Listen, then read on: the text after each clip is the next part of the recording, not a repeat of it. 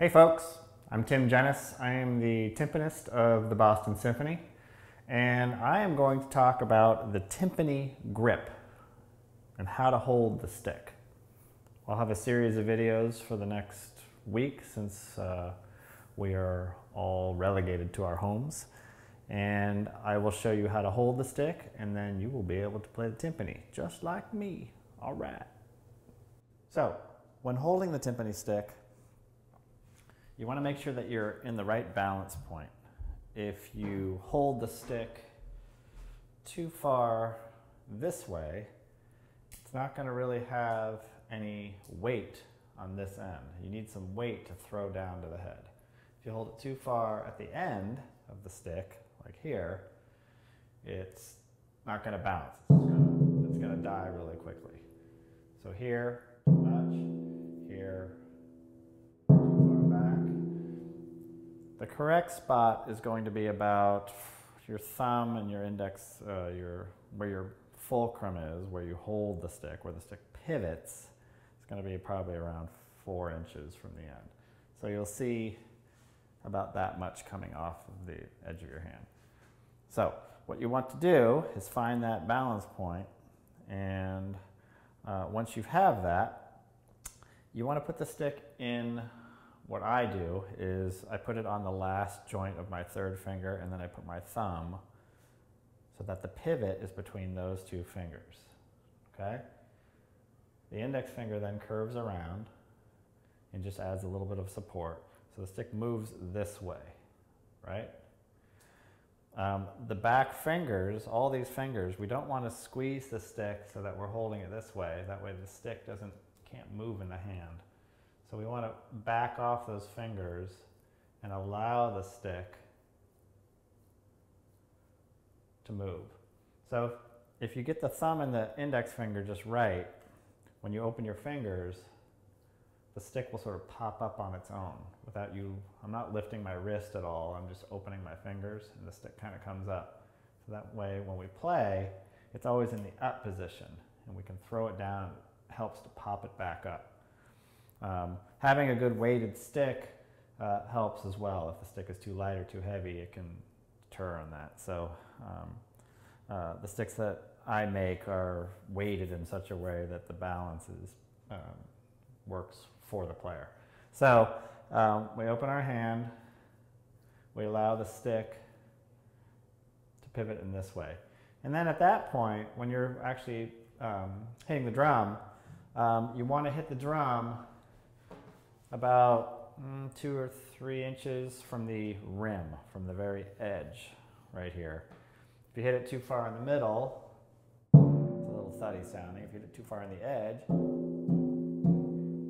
there's really kind of a uh, transparent, uh, thin sound, but right in the sweet spot, it's a nice sound. So, um, as far as get the balance point, Get the grip, open the fingers, and at that point, all you're gonna do is throw the weight of this part of the mallet. You're gonna throw it through the head, right? You're gonna let the head shoot it back up as much as you can. Not this. I'm just talking about a general stroke here. Generally, we want to allow the stick to rebound firm up the sound, we can firm up our grip a little bit. It's a little bit more of a uh, sharper sound. Um, and if we want to loosen it up, we, we loosen the grip. Use a little bit more of the bigger muscle. Smaller muscles are faster. Bigger muscles are slower. Okay? But basically, this is just about the grip. So if anything, you want to just make sure that you're allowing the stick to breathe back here, okay? You don't want to squeeze the stick and, and choke it off. And that's all there is to it. That's the timpani grip. Thanks.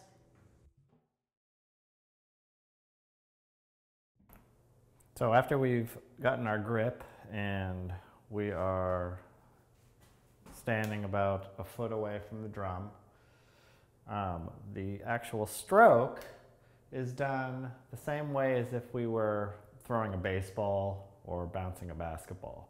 We're going to throw the weight down to the floor, and the weight in this case is the um, mallet head. And so we're going to think of that as the ball. So we're going to take that and have our nice open grip, and we're going to lead with the arm and let everything else follow.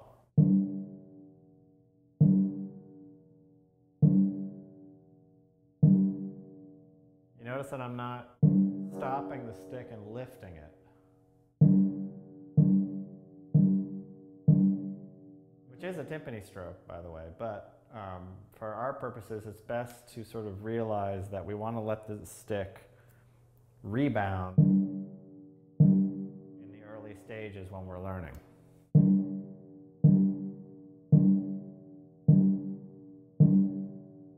So it's just like bouncing a basketball. Now you can use bigger muscles to slow down the stroke and get a more legato sound. And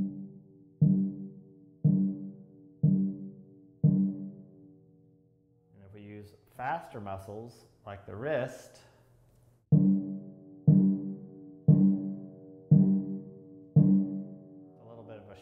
sound, a little more staccato. So we have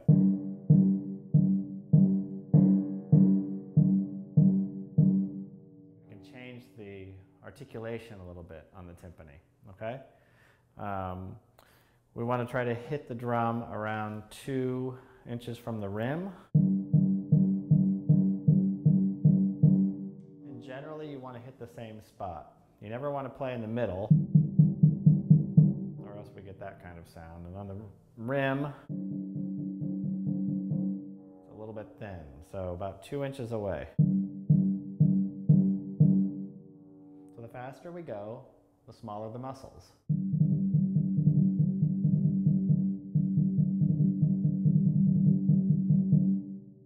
Right? We want to get a little bit more rounder sound.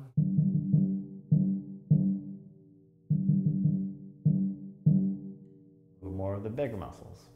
That's all there is to it. So when moving from drum to drum, we want to use our nice stroke that we've been taught and with our grip. And basically, uh, when you're setting up to four drums, which is the typical setup for timpani, um, you're going to face your body um, uh, in the center or of the two middle drums. Um, and then when we want to play these other drums, we're basically turning our body like we're turning around a barrel, okay?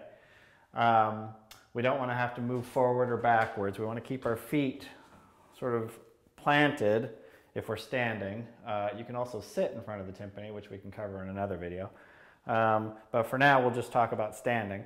Um, and uh, when we're using that stroke uh, and going from drum to drum, we basically want to just move our arms this way, like so. I'll just do it with the, uh, these two drums.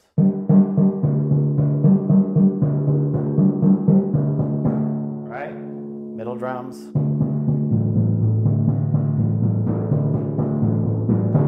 We want to make sure we hit that nice beating spot two or three inches from the uh, rim, right? Not too far on the center, not too far on the edge.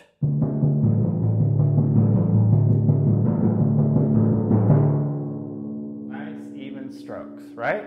So, uh, and uh, a good exercise to get used to that is to just do what we just what I just did is a triplet exercise, three notes on each drum.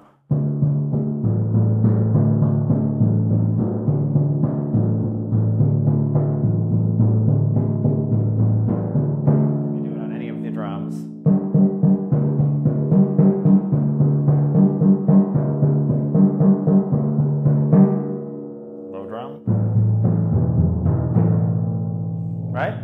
So, um, as we get better, we can increase the speed.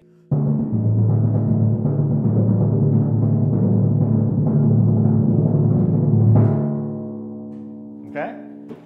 Now, when we want to go to the other drums now, a good exercise maybe is to um, play the same exercise, but when we want to keep going in the same direction, we play two strokes instead of three. So if I started on this drum, I would uh, start with my left, play three strokes, then play two and three. And then that would reverse the direction. So it's three, two, three, two, three. So three, two, three, two, three, two.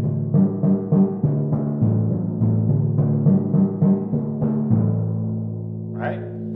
And then as we, if we kept going, we, you just add two strokes just to keep going in the same direction. So we can go three, two, two, three if we want to play on all four drums. I'll start up here with three strokes, starting on the right. Right?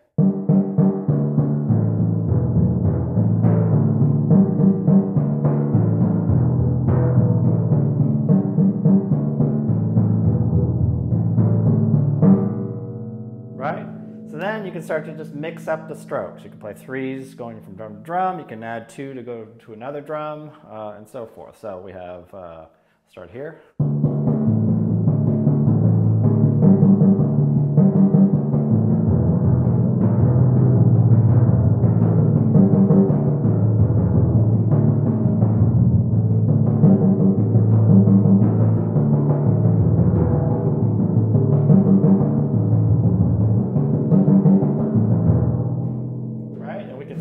Drums we want, you know. Doing the same idea. And then as you get better, you can speed it up a little bit.